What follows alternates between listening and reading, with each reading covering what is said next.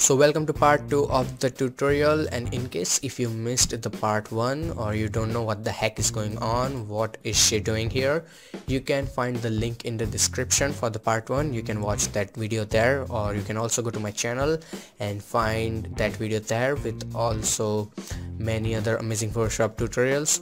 So let's start with the smoke because the basic stuff is totally done. We color corrected her. The background is okay so first thing is is adding smoke. So as you can see here we have really good realistic smoke going on.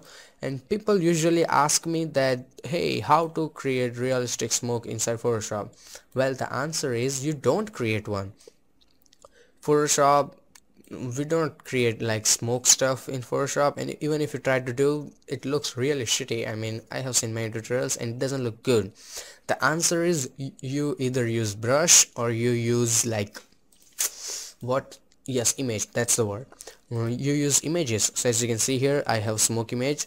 So if I disable the mask and change the blend mode to normal you can see here a smoke with black background a bit of black background going on so you put your smoke image in Photoshop and then you change the blend mode to screen.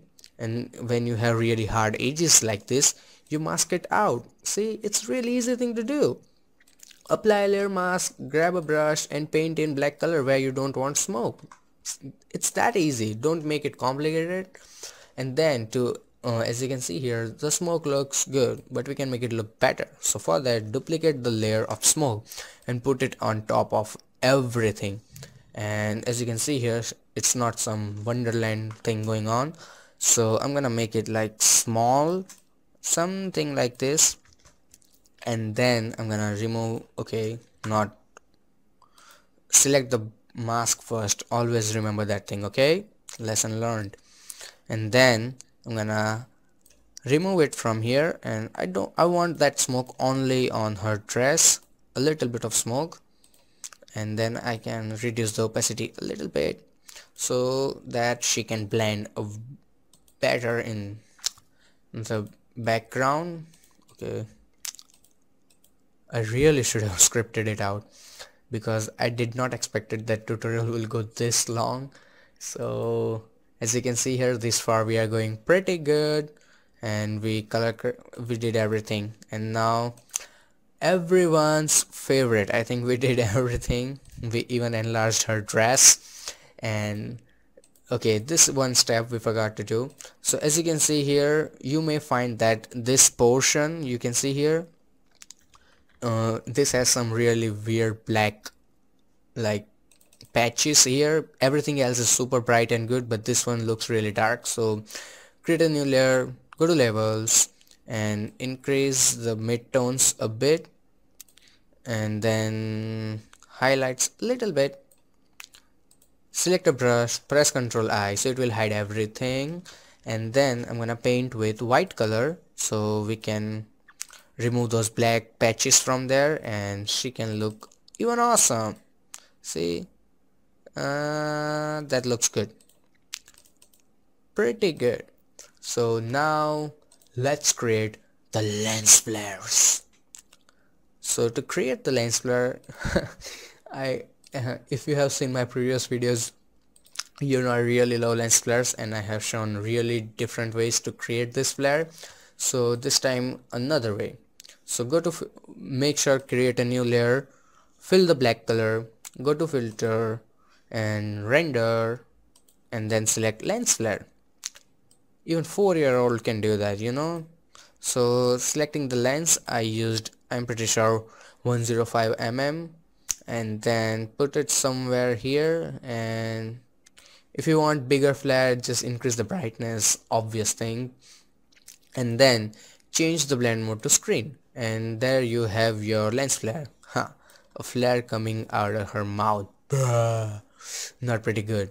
So put the flare where it's supposed to be and then uh, you want an orange flare. So what you can do is image adjustment and go to hue saturation. Now if you directly change the hue it's not gonna look that great. But the trick is click on this option called colorize and then increase the saturation so it will make it dark. And I have never seen a red sun but the orange one. So I'm gonna make it orange. See looks pretty good. And then you can also decrease the brightness but you can't increase it because of that black layer. This crazy stuff you can go see here but don't worry about that. Concentrate on the flare and you can decrease the lightness a little bit and hit ok so as you can see here looks pretty good but we have this small round dots. So I'm gonna mask it out so apply a layer mask. And I'm gonna paint black color there so we can hide that. And then the overall thing. So create a blank layer and as you can see here we have this overall brightness going on here really good. So this is also really easy thing to do. Let's copy the color and select just a dark desaturated orange color. See and then uh, select a brush and make it screen layer before painting. So you get the idea what kind of things you are painting okay? And then start painting it here and ha! It's ready. Everyone's favorite lens flare.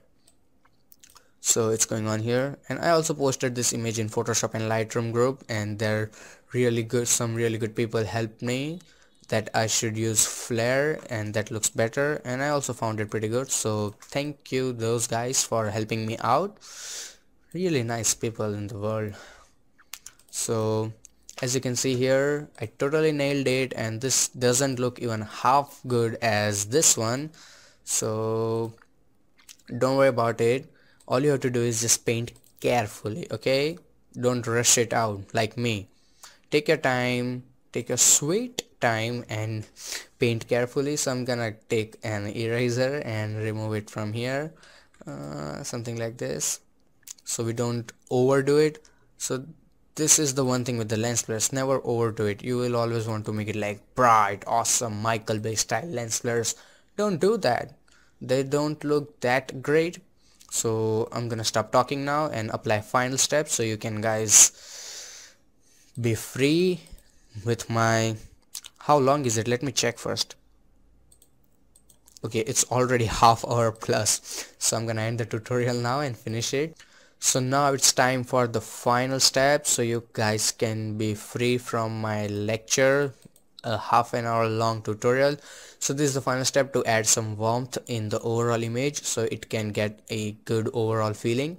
So this is one really good trick that I found. Usually people do this thing with curves but it can also happen with levels and I'm gonna show you how.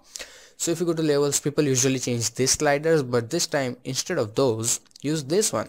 And add slight bit of this slider so it will kill the contrast in the image and add a red color same way. Not too much. So let's I didn't do anything in green I promise. Okay I did magenta.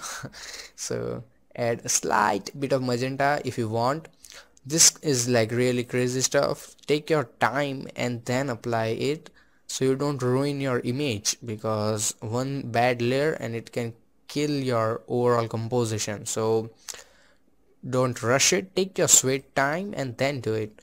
So I'm gonna add a little bit of here.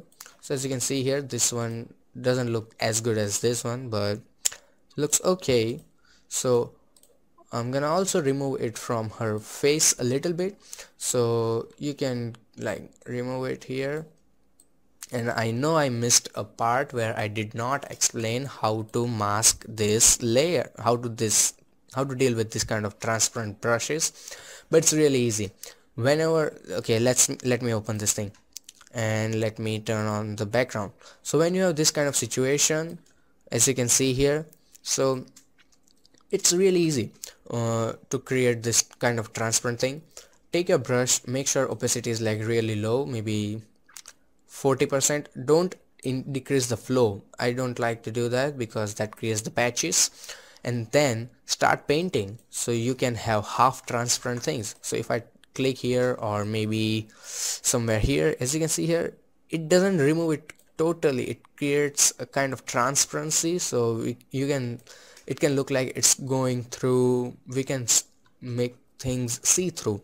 So that's pretty good thing. If I increase the opacity 100% and then I click here as you can see here it totally removes it. But the 50% or lesser opacity will make it look transparent. So the tutorial is finally done and thank you very much guys. If you watch till here very few people will do it I know but if you watch till here thank you very much and you can if you have any time left you can go to my channel and check out also other pretty good, tutorials.